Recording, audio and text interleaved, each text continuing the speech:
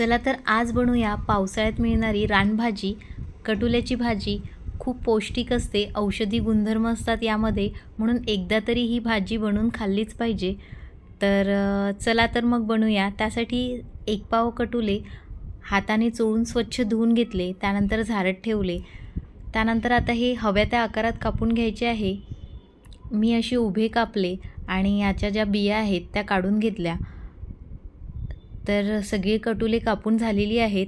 फोडणीसाठी एक कांदा लागेल तर एक मिडियम साईजचा कांदा असा जाडसर चिरून घेतला. त्यानंतर कढईमध्ये थोडे शेंगदाणे भाजून त्याचा जाडसर कूट करून बाजूला ठेवून दिला. त्यानंतर त्याच कढईमध्ये तेल घेतलं. थोडासा हिंग एक चम्मच पांढरे तीळ अख्खी तीळ आहेत.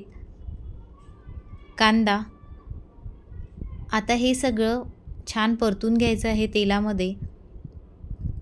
कांद्याला सोनेरी रंग आला की यामध्ये मसाले टाकून घ्यायचे आहे. मसाल्यांमध्ये तिखट हळद धने पावडर आणि चवीनुसार मीठ घालून सगळी मसाले व्यवस्थित परतून घेतली. आता यामध्ये चिरून ठेवलेली कटुली घालून घेतली आणि व्यवस्थित मसाल्यांमध्ये पाच मिनिट परतून घ्यायची आहे. गॅसची फ्लेम स्लो ठेवलेली आहे. पाच मिनिट परतून झाली की यामध्ये थोडंसं पाणी घातलं. पाण्यामुळे कटुले शिजायला मदत होईल आणि तळाशी भाजी लागणार नाही.